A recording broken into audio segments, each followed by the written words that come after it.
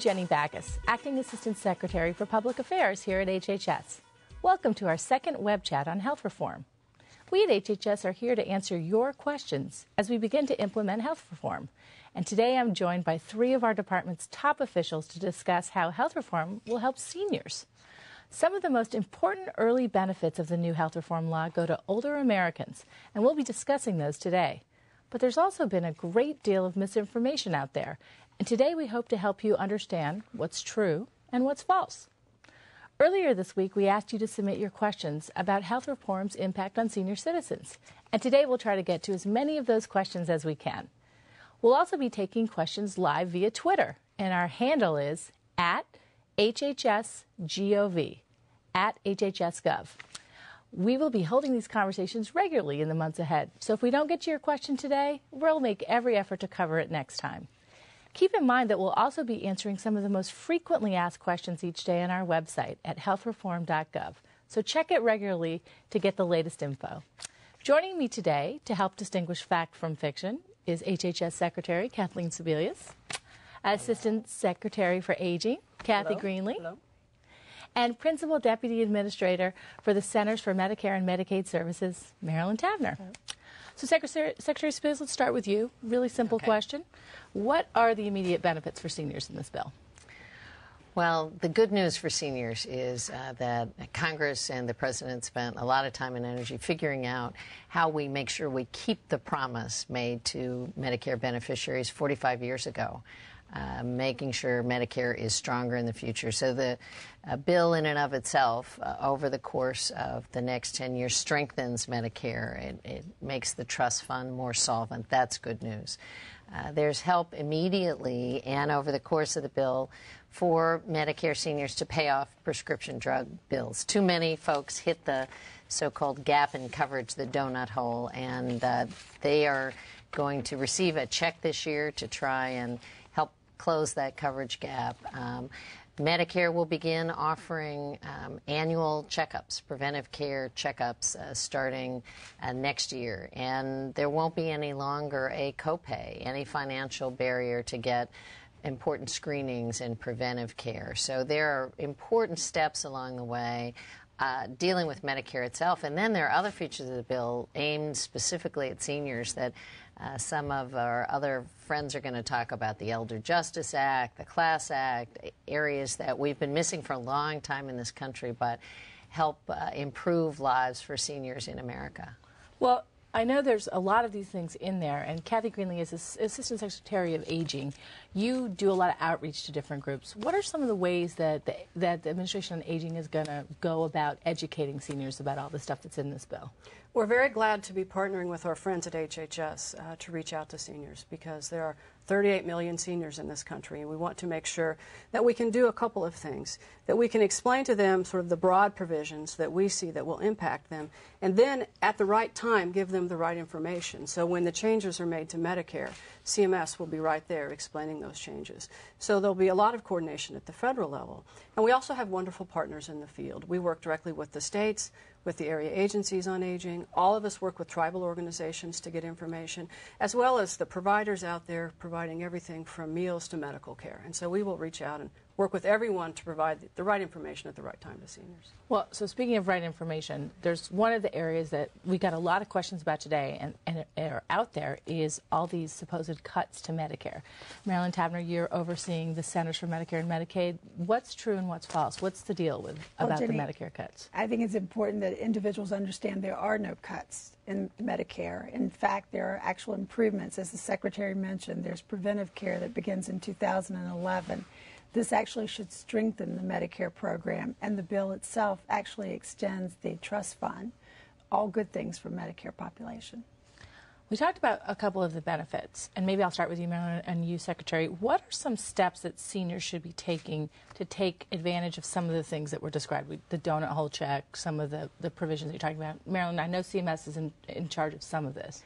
Yes, uh, let's talk about the donut hole first. Many seniors, uh, their drug costs exceed what their coverage, and so they're having to pay some of that. So beginning in June, we will start a process of when you reach the donut hole, there will be a $250 check that would be issued to the senior.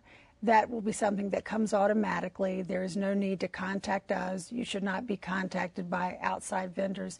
This will be a straight contact between CMS and the individual receiving the check. And that is a rolling uh, enrollment. So if you don't reach your donut hole until October or November, then you would receive the check after that time. And we'll have more information on, that on the website too. This actually brings up a point that Kathy, I'll go to you and then the secretary because she spoke about it this week at the press club. We got a report from something called the Senior Medicare Patrol yes. about some of the scams that are happening out there. Can you talk a little bit about that program and what you guys heard? Yes, if I could start and say some things have not changed. And one of the best pieces of advice we've always given seniors is to be careful with your Medicare card. Be careful who gets that information and always give it to a trusted source. And the reason for that is very apparent right now. Uh, we got reports through a program of ours in Missouri uh, that someone had gone door to door at a senior living complex, misrepresenting that they were from the federal government, trying to obtain Medicare information from a senior for bad purposes. This was a scam artist. Uh, fortunately, we were able to, to find out about that and, and report that so that we can have local um, law enforcement intervene. Uh, but the good news is that seniors should always have known that this is not something that, uh, that they should trust and they should check it out. The program that we have is called Senior Medicare Patrol, and we train across the country 5,000 volunteers to go out and help seniors learn how to read their benefits, how Medicare works, because seniors don't want to be victim to scams. They don't want someone to steal that information, and they're the best advocates that we have for themselves to give them the good information and stop these kind of artists. Uh, seniors should know that the federal government doesn't sell insurance door to door. They never have. That's not part of this program, so they should be very leery when someone poses as that. You've been working on fraud for a long time and fraud and abuse. You talked about it this week. What else is in this bill and in your sort of strategy to address this? Well, President Obama said from the outset, we really have to go after thieves who are stealing uh, our Medicare dollars, stealing from the beneficiaries, stealing from the next generation of beneficiaries. Uh, we know it goes on, and we have to crack down on it. So he asked the Attorney General and me to work together uh, as two cabinet secretaries to really um, be much more aggressive going after the crooks. And we've done just that. We now have uh, police and investigators in seven cities around the country where there has been evidence that high fraud has occurred. We hope to expand that to uh, 11 more cities over the course of the next year. Uh, real boots on the ground going after folks who are selling phony equipment, stealing Medicare cards, signing people up for benefits that don't exist, uh, trying to really rip off the Medicare Trust Fund. So going after fraud and abuse and making sure those dollars stay safe and secure is part of the effort. We just had a huge, historic um, settlement case with a major drug company who was misrepresenting, uh, mismarketing the drug. And uh, once the uh, lawsuit was settled, over $2 billion was returned to the Medicare Trust Fund for the money that actually had been spent buying the drug for purposes that were, in fact, potentially dangerous to folks. So we're looking at the whole array of people who steal, people who abuse the system, providers who are not on the up and up, um, equipment providers who are not providing real services to seniors. And we really want to get much tougher, much more aggressive, and keep that money going to the Medicare beneficiaries where it belongs. And I know, actually, just for the viewers, we have a website which links off health reform. It links off the CMS page. It links off all of our pages. It's called stopmedicarefraud.gov. There's good information there that you can download for your parents if you're a caregiver to teach them about some of the stuff that you were all just talking about. Okay, now we're going to go to viewer questions, which is the best part of the show. Um, and we are going to take as many of your questions in as we can. We've received, again, um, 600, 700 questions in advance of this web chat, which is a great sign that people are watching. We sorted them into categories, and we want to try to cover as much ground as possible in the short time that we have. So I may paraphrase your question a little bit when I read it, um, but let's go right to the questions. Um, I think, Marilyn, this first question may be for you. Um, Sherry from North Carolina. My husband, who was aged 59, was forced into early retirement due to a layoff. His firm has never offered health insurance to retirees. Is there anything in the health care bill for them? And right now, the only work that he can find is on contract, and that doesn't have any benefits.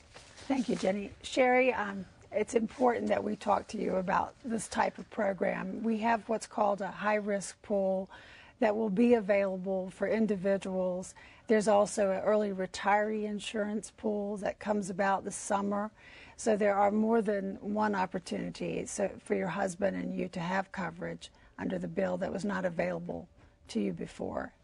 Anything else you guys have? Well, Jenny, I would I would say that Marilyn is talking about I think the sort of bridge strategy. Uh, what will be available starting in 2014 in every market in the country is a new insurance pool. Uh, what happens too often to 59 year olds is that insurance companies just decide they don't want to uh, take their coverage, write their policy, or they charge four, five, six, seven times as much to an older uh, insurance beneficiary as they do to somebody who's younger.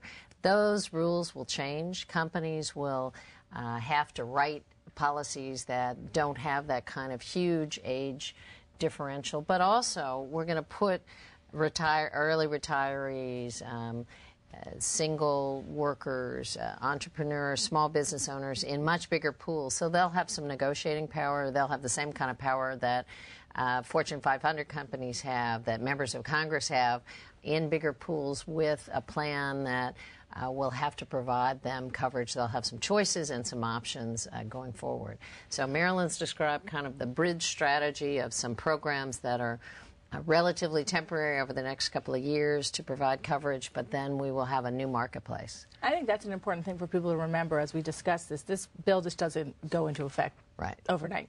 It's a it's a stepping stone to get there. Yeah. Um, well, again, about this is about how the law goes into effect, and um, Marilyn, I'm going to start with you again here. Not all the questions are going to go to Marilyn. Don't worry. Um, but this is Leonard from California. How will the new health care law affect those of us under 65 but who are disabled and, and still on Medicare? Um, is there anything that is different for us rather than people who are on Medicare for being old? So, people who are disabled, how does the new law impact them? Well, first of all, if you're on Medicare, nothing will change for you. You will continue with your Medicare benefits. And I think that's very important to understand because many people are confused that their current Medicare benefit may change so it will not change. Uh, in fact, there are some strengthening uh, provisions in the bill, such as we discussed earlier about preventive care beginning next year, where there will be no copay or no deductible for you. There are also some quality programs uh, for people with chronic disease or disability, where we'll be able to do more in home care, more coordinated care programs. So it should strengthen it. You should see improvements as time goes on. It will not take away your current benefit maybe for all three of you, uh, one issue that's of big importance to seniors is their retiree drug plans. Um, David from Pennsylvania wants to know what's going to happen to retiree drug plans. Will they be fully protected in the new health reform law? Absolutely. Um, uh, the government will continue to provide a tax break to companies for offering retiree drug plans. We'll still pay a portion of it. Uh, we think it's a great idea if employers help stabilize retiree marketplace. That's why it was in the uh, put in the first place. The only change, and it is a change that was made by Congress, is that um, employers. Uh, we've kind of closed a loophole where employers uh, now can receive a subsidy from from the government. Uh, that will go on. What they can't do is take a tax deduction on that subsidy. It isn't their money in the first place.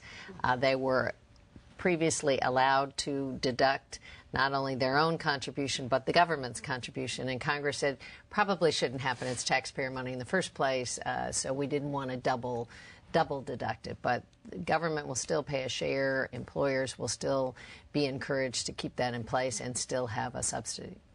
Anything else, or that's, I think that's a pretty good answer. Um, Jan from Illinois.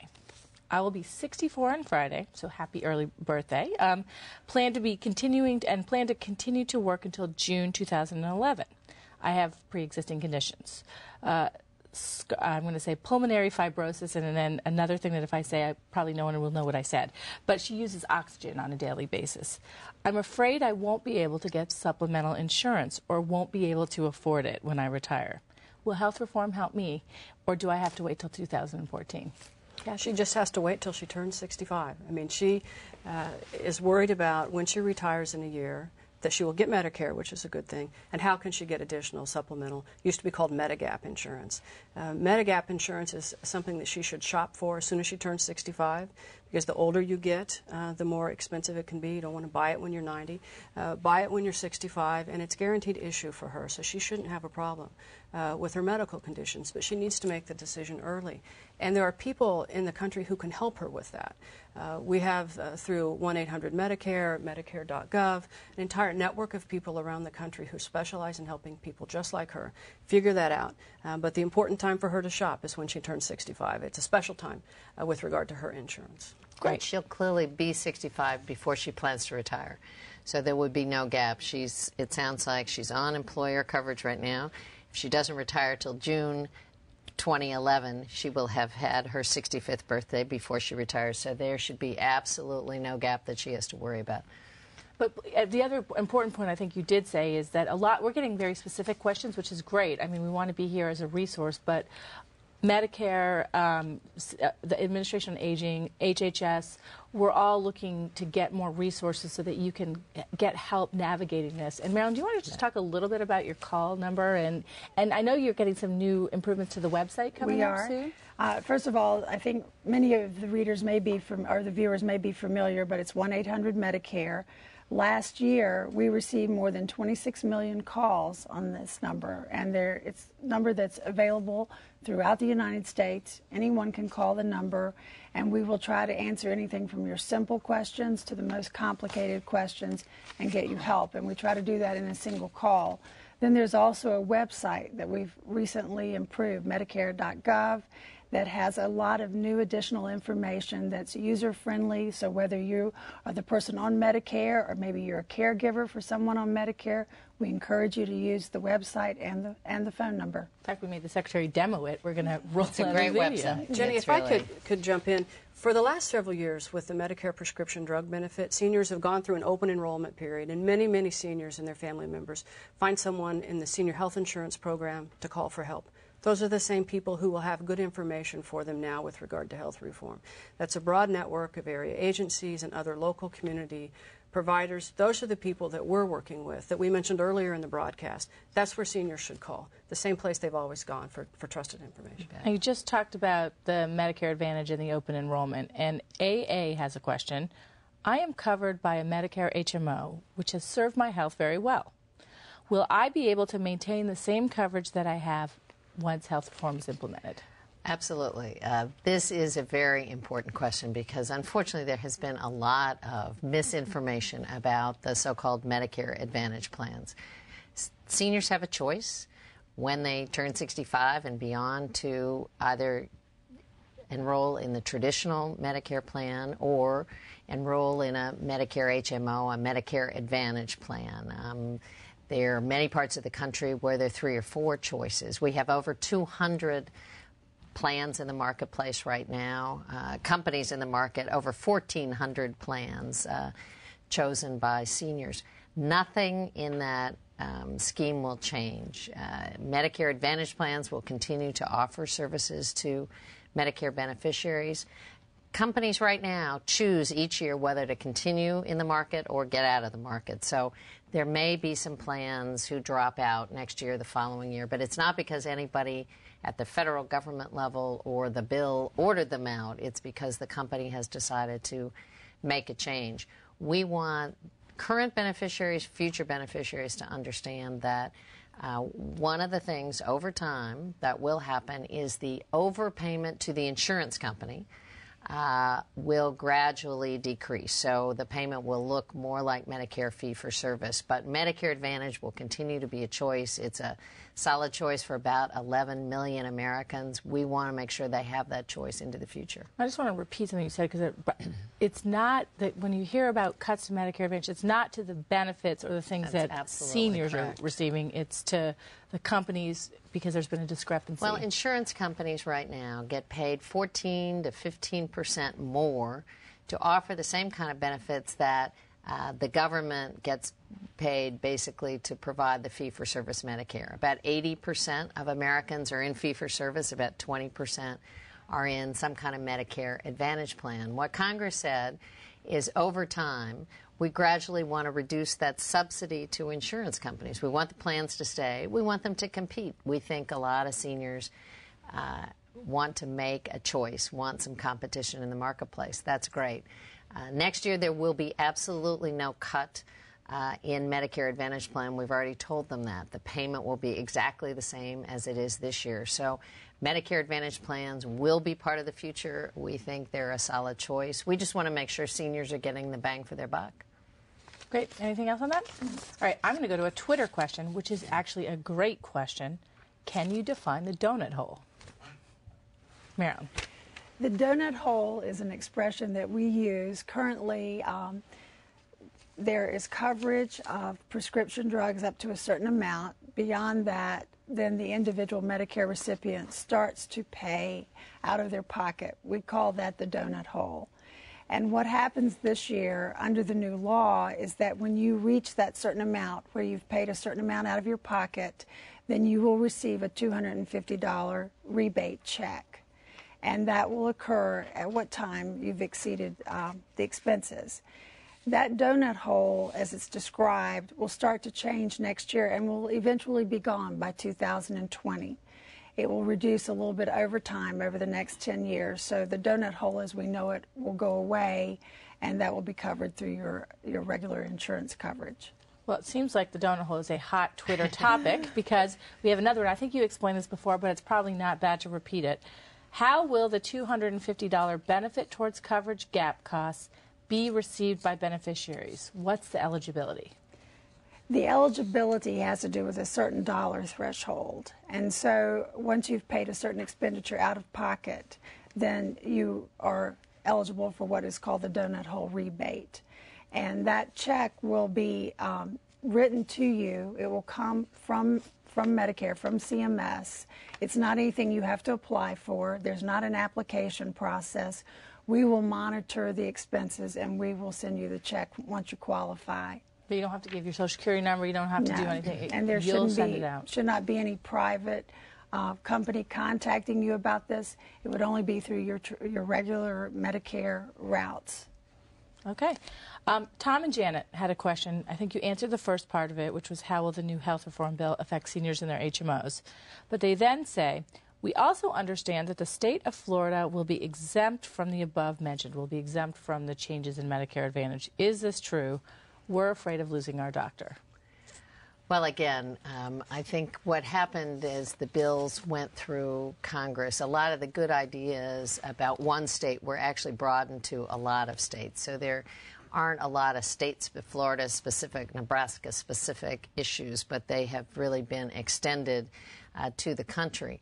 Again, Medicare Advantage plans will continue to function the way they do now in the marketplace. Uh, seniors will continue to have Medicare Advantage plans as a choice. Fee for service is one choice, Medicare Advantage plans are another choice. That will continue on into the future.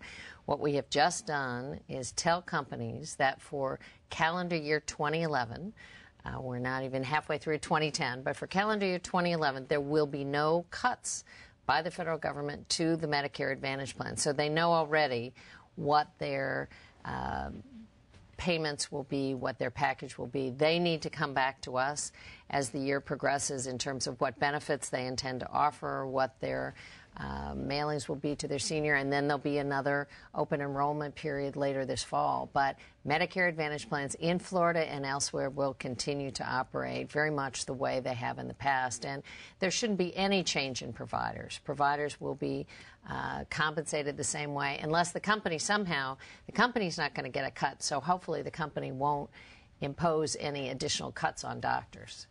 Okay. Eula has has uh, sent us a note. She, Eula is 60 and she is retired on Social Security disability. Eula says, I cannot get Medicare until I'm 62. I do not have health coverage. I cannot get health coverage because of a pre existing condition. When, where, and how do I get a piece of this new health care plan? well, Eula, you are one of the Americans that certainly was on the mind of the President and Congress putting together this new strategy. Unfortunately, everything won't hit overnight, but um, we just sent a letter to governors in states around the country to set up a high risk pool uh, for adults with pre existing conditions so that there will be some immediate help in the marketplace. The premiums will be capped. Uh, and there'll be an opportunity. Uh, too many insurance companies right now say we don't want anybody with a pre existing condition. We're not going to write the policy at all, or we're going to charge 400% higher than anybody else in the market. That will stop this year. There will be a high risk plan available. In 2014, there'll be a new market uh, that will uh, prevent insurance companies from eliminating anyone with pre existing conditions and put people in much larger pools. But it's sort of a step by step process to get there because we want to make sure the new markets run correctly, that we get them set up well, that we work with states to do that. So we got a high risk pool as the bridge and then a new market at least by 2014. We only have about three minutes left, but uh, there's a couple good ones here I want to get to. We talk, I think you mentioned this earlier, Secretary, but maybe Marilyn, you can talk a little bit more in detail. Sal says, "Will Medicare cover yearly physicals? If so, when?" And he and he or she, I don't know. It is ironic with all this talk this year about preventative medicine that Medicare has never covered any of these services. well, I think Sal makes a very good point. Uh, beginning in 2011, we will cover uh, preventive care, routine physicals, and there will not be a copay or deductible. Depending on the type of Medicare plan that folks have today, if, particularly if they're in one of the Medicare Advantage plans, they may have some of these services now, but we will extend that service to all types of Medicare plans. And so if you are in need of preventive care, you can access, you can go to your physician. You do not have to worry about a copay or a deductible and that begins in 2011. And we think that's a very good thing. We're about preventive care and getting in front of the illness we think that's important. You've been doing a lot of work on that at the Administration on Aging. I mean, prevention and sort of getting ahead of it. I know you've been out talking to a lot of folks. Do, do you have anything you want to add we, to that? We have um, some programs around the country that we can put in local community organizations, the basement of a church, at the YWCA, to help seniors manage their own chronic conditions. So this is a very nice partnership that we can work with our partners at CMS for the preventative benefits. But if you have a condition and you're struggling uh, to care for yourself or you're taking care of someone else, else, we can help you learn how to manage that condition so that you have a better quality of life and fewer episodes where you need to access uh, the emergency room or the hospital. I'd say the other piece of that, and, and Kathy just mentioned the hospital, is uh, working part of the plan will be to work more closely with hospitals if someone had to um, access hospital care if they go in the hospital. What we want to do is when they get released from the hospital is keep them healthier. One out of every five Medicare beneficiaries right now go back into the hospital within 30 days. Some of that is unavoidable. Some people have a health crisis or an emergency. A lot of people just haven't been seen by a doctor or haven't had anybody follow up on are they taking their meds, helping to manage. So, again, part of the Affordable Care Act is to make sure that we follow up on folks, that they get some help and treatment once they leave the hospital to stay out of the hospital to be healthier. If I could jump. Some of these opportunities we have known were good ideas. And what we have the ability to do now is provide them to everyone, to get to everybody who needs the help, uh, so we can bring out things that we know already work and make them better for everyone. Well, we're going to take one more tweet and then we're going to wrap it up. Marilyn said, You said that excuse me, beneficiaries will, I should have done it like that, um, will automatically receive a $250 check on a rolling basis when they reach the gap. What if they've already reached it? If they've already reached it, then we hope to issue those first uh, checks or payments in June. So they should look to receive their check in the June timeframe. Okay, well, I think we're going to wrap up. Um, I just want to say thank you all for joining us. That's all the time that we have. Our guests, Kathleen Sebelius, Secretary of HHS, Kathy Greenlee, our Assistant Secretary on Aging, and Marilyn Tavenner, the Principal Deputy Administrator of CMS. We hope you got some of your questions answered today, and we'll be making, during the webcast, and we'll be making it available on demand shortly.